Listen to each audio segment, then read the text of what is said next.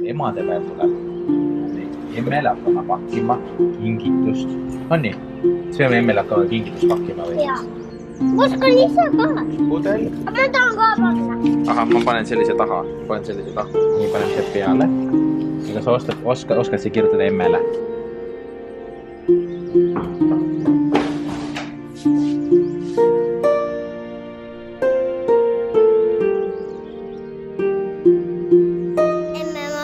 放心